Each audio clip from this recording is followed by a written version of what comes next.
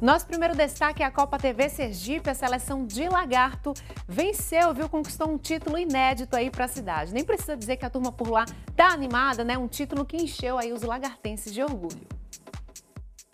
A festa que terminou em cima do trio começou dentro do ginásio Ribeirão.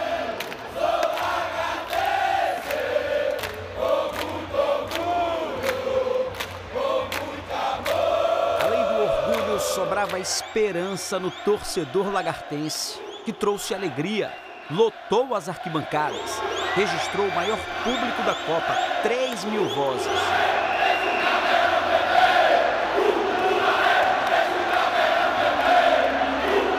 A entrada dos times, o cumprimento dos jogadores, não era uma final qualquer. A taça seria entregue pela primeira vez a Lagarto ou Aracaju não era uma decisão como as outras. Valia muito para o jovem técnico Davi Mendonça. Para o experiente galego, valia o 11 título.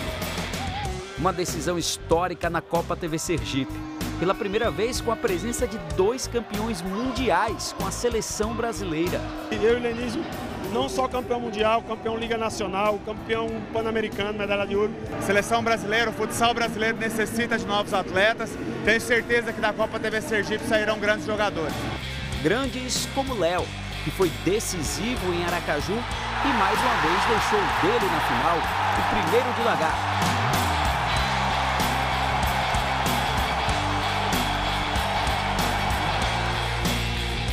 Aracaju sentiu o golpe e Axe quase fez gol contra.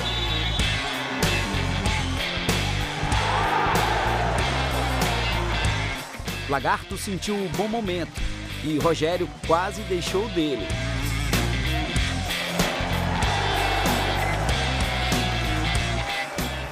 Aí veio o vacilo na linha de fundo e a esperteza do Rafa para deixar tudo igual no Ribeirão, 1 a 1.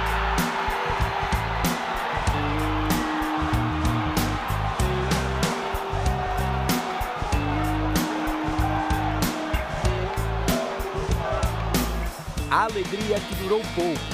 Uma jogadinha de seleção deu certo em outra seleção. Lenísio agradeceu o passe do Rogério. Um gol marcante. Um gol que colocou o Lagarto com a mão na taça. Aracaju precisava de dois gols a essa altura.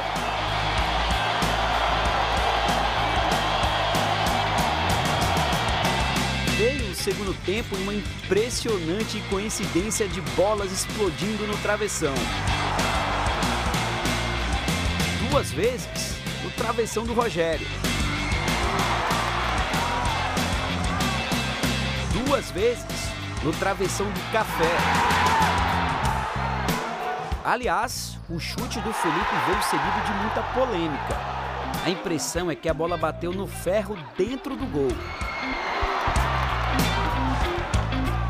Era tudo ou nada para a capital, passou a jogar com o goleiro linha e quase deu certo algumas vezes. Em outra investida, Axe foi derrubado dentro da área. Pênalti que poderia mudar a história da decisão. A arbitragem não deu. Para piorar, Deivinho acertou o alvo sem goleiro.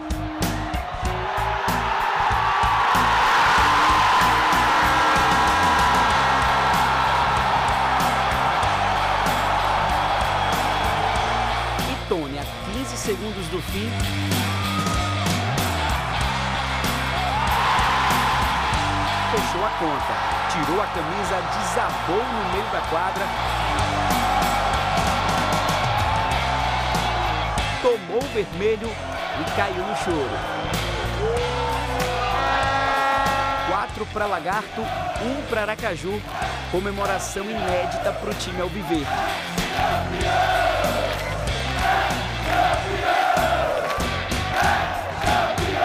Foi um grito que ficou engasgado em 2010, em 2012 e finalmente em 2017 pôde ecoar no ginásio Ribeirão.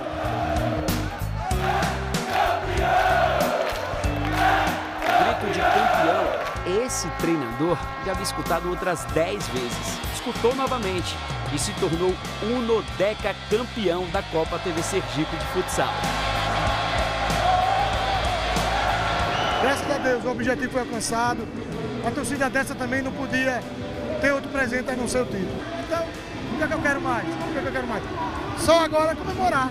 Comemorar. E bastante. A medalha de prata não foi bem digerida pelos atletas de Aracaju. Pudera, mais uma vez vice-campeões. Do outro lado, o inédito título veio com muita festa. Festa para dois campeões mundiais pela seleção brasileira. Todo título ele é importante, né? Independente de onde você joga, de onde você esteja, a idade que você tenha. É sempre muito importante, eu achei gratificante, é o momento máximo, né? O mais importante é a alegria que a gente vence, como se a gente estivesse ganhando o primeiro campeonato. Eu ganhei quatro competições, graças a Deus as quatro que joguei. Jogadores subiram no mini trio e curtiram a conquista pelas ruas de Lagarto.